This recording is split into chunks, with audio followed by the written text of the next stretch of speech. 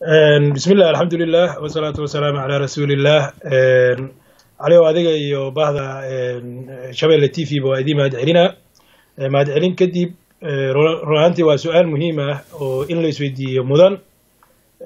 Hirshabeelle waxaa ka muuqda waxyaalo badan oo run ahaantii hirshabeelladii hore iyo hirshabeellada haddaba ayna marayso madaxweynihii saddexaad ee hirshabeelle runtii waxaa la isdhihi karaa wixii laga filanayey weli lagamana helin. Dhabbihii horumarka iyo maxaa la yidhaahdaa muuqashadii horumarkana hirshabeelle weli kama soo dhalaalin. Run ahaantii hirshabeelle waagii hore hirshabeelle la yaqaano ugu yaraan jihadii ay saaran tahay dhabbihii horumarka iyo meesha ay u socoto la ogyahay ay ahayd. Balse isbeddelkii dhacay labada kun iyo labaatankii bishii november oo madaxweyne cali gudlaawe xuseen uu xukunka qabtay. Waxaa ku masali karaa oo ku misaali karaa yacni doon qurux badan oo yacni hirshabeelle oo dhan wada saaran tahay oo biyo dusheeda socoto dhabbihii horumarkana yacni u jihaysan ayuu madaxweynuhu sterinkeeda qabtay. Waktigii oo qabtay ilaa haddana waxaa moodaa inuu sterinkii la aaday dhul carro bacaad ah doonna kuma socon karto aan is leeyahay carro maxaad kala jeedaa wasiir maxaad kala jeedaa doontii wuxuu la aaday meel bacaad ah? Noo fasir. Wuxuu waxaan kala jeedaa cali ow sidaa og tahay maamulka sidiisaba markii madaxweyne la doorto mandate-ka madaxweynaha la siiyey waxaa kow ka ah inuu xukuumad golo wasiiraha soo dhiso. Waana hawsha ugu koowaad oo madaxweynaha inuu ku fashilmay iyo inuuna ku fashilminba yacni kow la ogaa karo balse weligeed ma dhicin hirshabeelle in maamulka hirshabeelle uu laba sano ku dhowaad xukuumad la'aan noqdo aho taas ayaa u leeyahay doontii loogu talagalay in lagu wado biyaha dusheeda ila doon hadday biyo dusheeda ku socoto si xawliya u soconaysaa oo dhaqso ah balse haddii doon bacad lala aado maba dhaqaaqaysaba. Maamulka inuu dhaqaaqi waayo wasiiro yeelo waayo taas ayaan kala jeedaa mandateka madaxweynaha howshiisa ugu koowaad ee golihii wasiirada ilaa hadda aan dhisnayn ayaa la isdhihi karaa waxa dib u dhaca u keenay maamulka. Waaya dib u dhaca golaha wasiirada naftirkooda aan ku soconno wasiir khadar laba sano madaxweyne cali guudlaawe fursad ilaa hadda waxaa jooga wasiiradii dowladdii ka horreysay. Sababaha xukuumadda loo soo dhisi waayey ee madaxweyne cali guudlaawe wasiirada u soo magacaabi waaye golihii wasiiradaad ka mid ahayd inkasta oo hore aada isaga casishay. Maxaa loo fasiran karaa horta caliow aan ku saxo ani iskama casilin xilkuna waa meerto madaxweynaha ayaa xilka qaaday. Run ahaantii middan golaha wasiirada haddaa u soo laabtana saa loo socotid xukuumaddii hore waa xilgaarsiin maadaama madaxweyne cusub uu yimid madaxweynaha hirshabeelle dastuurka sida uu qabo soddon cisho ilaa afartan cisho uu haystay oo dastuurku siinayey haddii caqabado gaagaaban oo in la saxa u baahanna waktigii sakaray oo ilaa iyo bil ama maxaa la yidhaahdaa ama labaatan maalmood oo loo ogolaa karo. Xilgaarsiin xukuumaddu marka ay tahayna waa la socotaa oo waa xilkeedu keliya wuxuu ku egyahay xilgaarsiin horumarinta iyo maxaa la yidhaahdaa shaqooyinkii looga baahnaa xukuumaddu.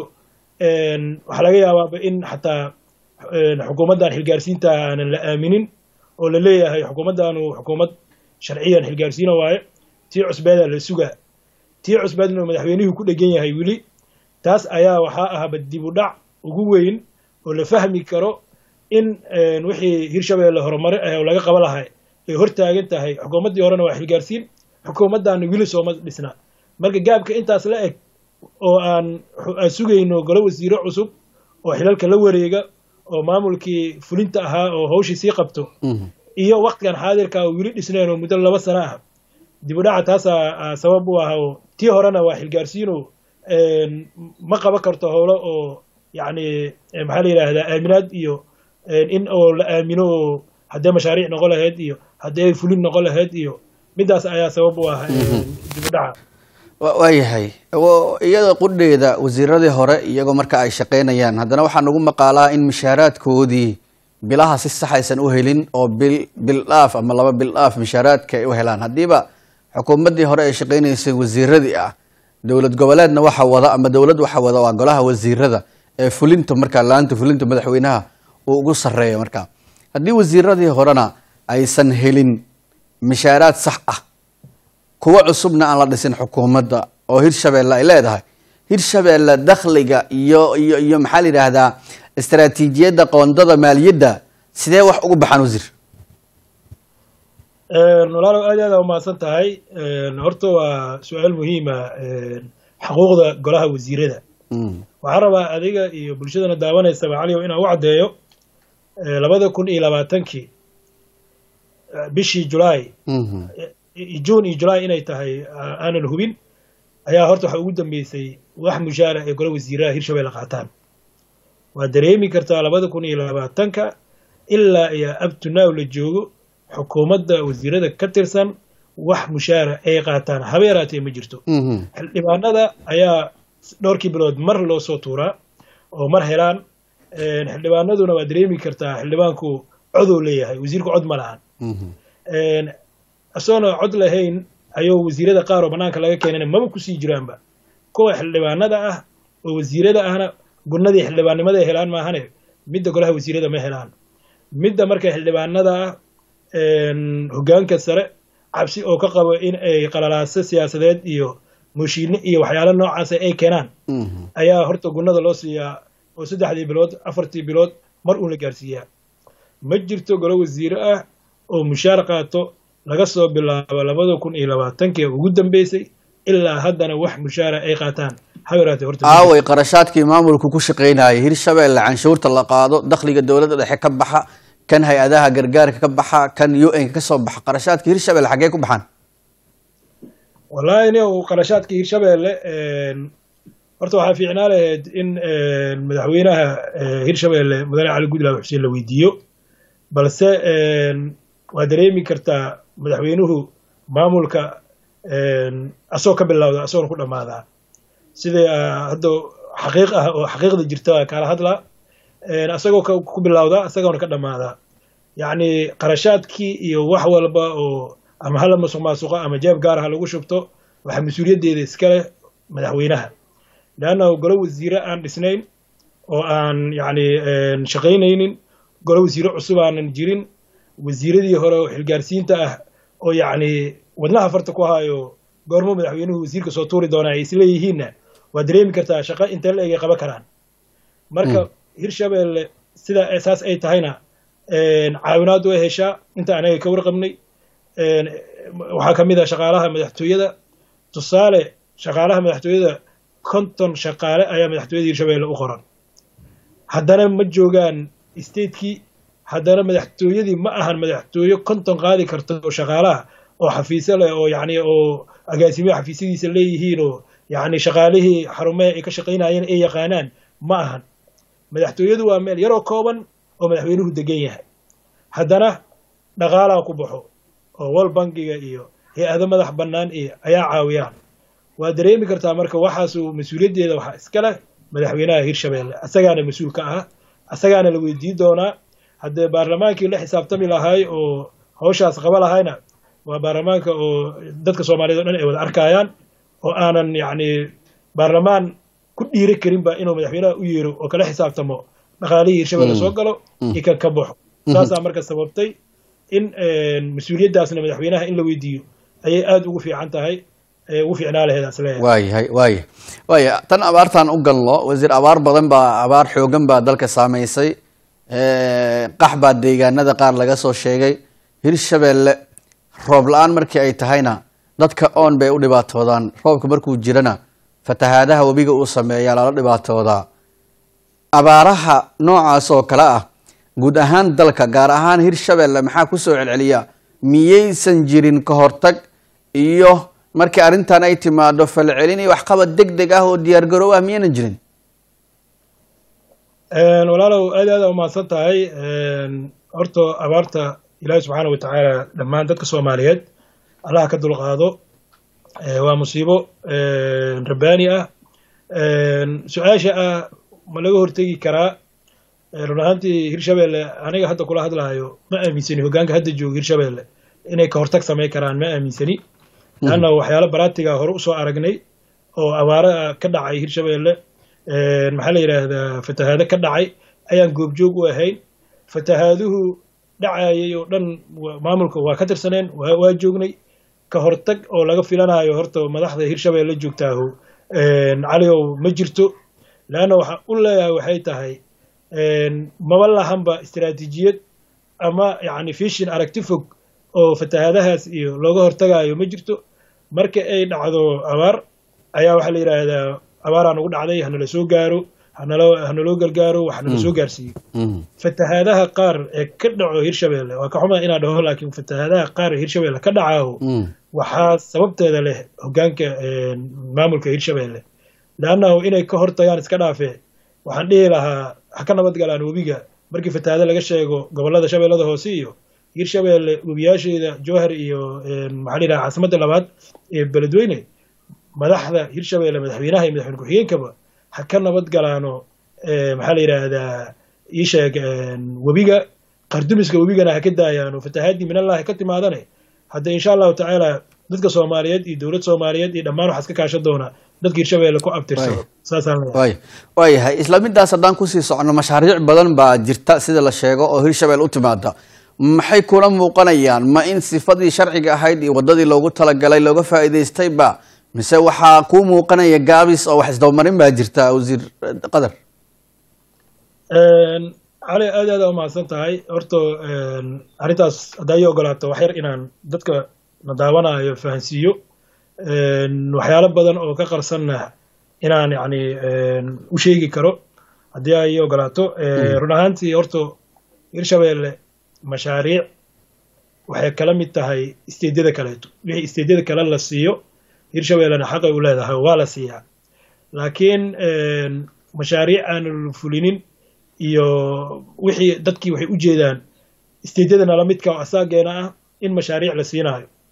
Annaguna aan mashaariicdii aanan haysanin balse waxaa rabaa inaan dadka soomaaliyeed u caddeeyo dadka deeqbixiyaasha ee donariska ah iskugu miday u yihiin isteedyada. Isteed gaar ah oo ay naas nuujinayaan ma jiraan balse waxaa la isu dhaafay. Waxay tahay laxawjeclo isteedkaasi madaxda hirshabeelle ah iyo madaxda maamul goboleedyada kale laxawjeclada isteedka in wax loo qabto dadka iyo dadkaas dadka iyo deegaanka hirshabelle in wax loo qabto yaa la ysku dhaafay. Laakiin isteedyadu waa ka wada siman yihiin tusaale yar haddaa kuu sheego labada kun iyo sagaal iyo tobankii maxaa la yidhaahdaa wax noogu horreeyey oo weliba aan ugu mahad celinayo hay'adihii gacanta ka geystay waddada xiriirisa magaalada jowhar iyo eraboorka iyo waddada xiriirisa magaalada beledweyne eraboorka iyo magaalada waddada xiriiriso iyo waddooyinka dhex mara labadaas magaalo. Ayaa laba hay'adood si bini aadamnimo ah oo naxariis leh ayay waxay noogu ofar gareeyeen ay nagu siiyeen in noola dhiso waddooyinkaas waddada eraboorkana noola dhiso. Waa og tahay waddada eraboorka ee magaalada jowhar magaalada waxay u jirtaa shan iyo toban kilomitr shan iyo tobankaas kilomitr iyo waddooyinka dhex mara ayaa waxaa loogu talagalay dhaqaalo gaarayo ilaa iyo shan iyo labaatan milyan. In labada magaalo waddooyinka dhexdeeda lagu dhiso. Weliba waxaan rabaa inaan bulshada soomaaliyeed la wadaago. Lacagtaasi hay'adahaas waxay ku bixiyeen ayagoo kale madax bannaan.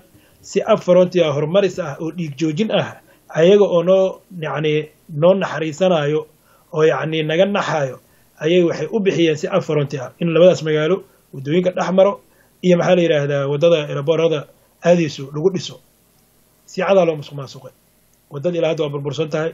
Waddooyinkii ma dhisno magaalada. Waddooyinkii magaalada iska dhaafe tii madaxweyne guudlaabe guriga iridiisa madaxtooyada irideeda marayso waa burbursan tahay waxayna ku jirta mashruucaas. Marka walaalow horta waxaa la yidhahdaa soomaalidu waxay tidhaahdaa sicii ninkii lahaa seent uga fadhiyo.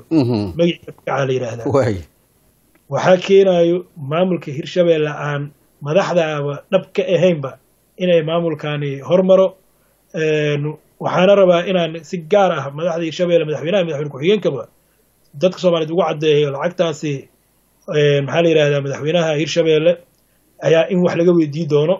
Hay'adaha bixiyey hay'ada la yaqaano waayo caliyow waa somali stability fund oo markii la soo gaabiyo loo yaqaano maxaa la yidhahdaa s s f iyo somali finance facility oo markii la soo gaabiyo loo yaqaano s f f labaduba waxay bixiyeen dhaqaalahaas. Dee marka mashaariic dambe noolagu aaminaa tusaale haddaan kuu sheego madaxtooyadii hirshabeelle iyo baarlamaankii dhaqaalihii loogu talagalay waa la diyaariyey. Naqshadii waa noola diyaariyey in baarlamaanku shaqeeyo oo xoruntiisa la dhiso. In madaxtooyadii ay shaqeyso xoruntiisa la dhiso. Waxaa la diyaariyey qarashkii ku bixi lahaa iyo naqshadii maxaa sababay in maanta hirshabeelle baalkii madaxtooyadii naga dambeysay koonfur galbeed la dhiso. Waxaa is leeyahay waa ka faa'iideysiga oo nalaga faa'iideystay koonfur galbeed madaxdoodu ay degaankoodii uga faa'iideeyeen iyo dadkooda. Annaguna aan rakaataynayno markii mashruuc la keenaba aan dhehayno waxyaalo kale keenin taasaa sabab u ah in mashaariicda la musuqmaasuqa fuli waa. Waayahay aadaan kugu mahad celinayaa qeybaha dambe haddaan galo wasiir khadar wasiirkii dastuurka iyo federaaleyntaad ahayd waxaad sheegtay in xilkii adiga iyo dhowr kale wasiir laga qaaday. Warar kale oo markaas soo baxay waxay sheegayeen inaad tahriibteen oo dalka isaga baxdeen oo saas xilka madaxweyneha idinkaga qaaday. Haddii si qoto dheer aad u faahfaahayso oo dadkan aad fahansiiso sidee ku timid xilka qaadistiina? Mise tahriibteen ma jirta arrinta? Cali horta aad aad umahadsan tahay. Horta anigu shaksiyan ma tahriibin waxaan awalba deganaa dalka ingiriiska. Haddana dalka ingiriiska dalka ingiriiska ku noolahay. Wiilgeena waa waa yani cimrigeyga markii laba loo dhigay qayb ka mid ah waa ku noolahay. Balse dadka reer hirshabeelle iyo yani dadka aan metelayay ayaa waxay ii garteen inaan aqoonta iyo aqliga iyo aan yani inti karaankeyga hirshabeelle wax ugu qabto aan ugu qidmeeyo aan u shaqeeyo run ahaantii maxaa la yidhaahdaa xilkuna sidiisaba waa meerto. Finti barfinti ma ahan oo qofku asagu leeyahay magaciisa ku qoran yahay. Ma ahan xilka waa la iska qaadaa. Waana yani waana la magacaabaa. Wax dhibaataa ay leedahay ma lahan. Laakiin waxaan aaminsanahay xilka qaadista madaxweyne guudlaabe waxaan is leeyahay kama tegin meel oo yani lagu duceysto oo la yidhaahdo meel qeyr qabto waayo horumarsano meel fulaan waa horta kama tegin. Madaxweynuhuna waa ku mahadsan yahaybu in afkaartayda iyo yacni fiishinkeyga fog aan la wadaagay darteeda oo u dul qaado waayey. Taas waa horta waa ku mahadsan yahay. Yacni waxa xilka qaadista keentana waxay tahay anigoo aragtida aan qabo iyo dadka deegaankaas in loo dhimriyo. Yacni wax loo qabto lama gamban jirin. Systemkaan ku dhex dagaalami jiray oo in dadka wax loo qabtaan ka shaqeey jiray. Marka waxaan is leeyahay madaxweynuhu taasoo dhibsaday mana rabiyo runta markaa kuu sheego yacni qof wax fahmi karo fishil laho dadkii deegaankaas inuu u shaqeeyo rabo meesha lagama rabo runta markaa kuu sheega guud ahaan hirshabeelle lagama rabo waxa hogaanka hadda jooga waxay rabaan dad aan dab iyo timir kala garanaynin ay rabaan. Walciyaadu billah dad aan dab iyo timir kala garanayninna wax ku tilmaamna ma garanayno. Marka dad noocaasa meesha laga rabaa laakiin anagu waxaan ahaa shaksiga iyo aniga asxaabteyda iyo dadkii la mid ahoo baarlamaanka igula jiray oo golaha wasiirada igula jiray afkaarteena waa caddeysan jirnay dadkan in loo dhimriyo oo wax loo qabtana mar walba waa sheegi jirnay. Hadduu madaxweynaha taas dhibsadayna waa ma sheegi karo waa xilka qaadista dastuuriyan awooda u leeyahay. Waxa lagu doortana waa dastuurkaas. Laakiin waxaad hadda sababeynaysaa ama aada eersanaysaa sida kuu muuqanaysa. Fikir ahaan madaxweyne cali guudlaawe iyo maamulka hirshabeelle oo aad ka aragti duwanaatay lana wadaagtay u sheegtay sababta xilka ka qaadista shaksiyan adiga taasaad hadda aad isku sababeynaysaa wa mid mid middaan ku leeyahayba waxay tahay madaxweyne guudlaawe aniga asoo madaxweyne ku-xigeenana waa la soo shaqeeyey. Asoo madaxweynehana waa la soo shaqeeyey. Caligow dadka soomaaliyeed waxaysan ogeyn anigu anigu asagoo madaxweyne ku-xigeen ah aniguna aan xildhibaan ahay wasiirna ahay oo golihii fulintana ku jiro golihii wakiilada maxaa la yidhahdaa hirshabellena ku jiro ayaa afkaarteeda madaxweynaha si face to face a ugu sheegi jiray oo yani inaa hor fadhiisto madaxweyne dhaliisha saana iyo saana ah maamulkan bal hala dhiso. Waxyaalaha oo marmarka qaar uu igu jawaabi jiray ama annaga tiimkeena uu noogu jawaabi jiray oo waxay ahaydba waxyaalo meesha aragtida fog iyo fishika aan ka hadleyno meel ahayn oo ka jawaabi jiray. Tusaaleyn haddaan kuu sheego waxaan ugu tagnaa soo madaxweyne ku-xigeenka madaxtooyada weliba gaar ahaan annagoo ka soo jeednaa shabeellada dhexe xildhibaanada shabeellada dhexe aan ahayn. Yani waxaan la qiweynay jawhar sawirka ay leedahay caasimaddii waa sawirka jawhar ay leedahay iyo madaxweyne ku-xigeenkii oo meesha degan oo joogo oo haddana awooddii ugu badneyd waagaas oo madaxweyne ku-xigeenka ahaa uu lahaa. Yacni waxaan la qiweynaya ahayd in jawhar sawirkaan ay leedahay indhahan ay leedahay laga bedelo meel dhisan oo qurux badan ay noqoto. Waa u tagnay weliba annagoo si kaftana u niri madaxweyne meeshaan madaxweyne ku-xigeen u ahaa markaa madaxweyne ugu yaraan caasimadan a qurxino. Bal adaa fulintii ugu sarreyso oo madaxweyne ku-xigeenkii ah caasimadan madaxtooyadan hala dhiso baarlamaanka hala dhiso waddooyinkan hala dhiso meel yacni qurxan oo lagu soo hiiro karo ha noqoto. Caligo si kaftana wuxuu noo yidhi run ahaantii aniguna kafta ka ahayd inay run ka ma garan karo wuxuu yidhi aniga fiishinkeyga waxay tahay meesha madaxweyne madaxweyneha rabaa inaan ka noqdo. Markaasuu madaxweyne ku-xigeen u ahaa ma fahmaysaa madaxweynehan rabaa inaan ka noqdo. Haddii walaalayaal oo hadda saa sheegaysiin ay noqoto meel qurxan noqoto waa laygu qabsanaa biri dad iga dhaqaalo badan oo musharaxiin madaxweyneha imaanayo uma babax dhigi karin. Marka saas daraaddeed intaa madaxweyne ka noqonayo igu dulqaata hadda maantana waa madaxweynihi laba sano madaxweyne yahay. Meeshana sida waa wili waxyaalaha waxyaalaha aan is leeyahay waa waxyaalaha lagu dhibsaday ka mid tahay. Waayahay waa soo gabagabeynayaa wasiir qadar. Yaa ku dheganaad is leedahay horumar la'aanta hirshabeelle mashaariicdii aan laga faa'iidaysanin abaarahan soo noqnoqda golihii wasiirada weli lagu dhegan yahay.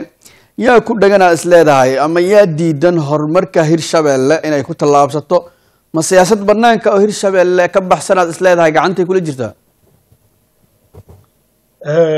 walaa horta caligow hirshabeelle siyaasad ka baxsan oo ku dhegan waxaan aaminsanaha inaysan jirin.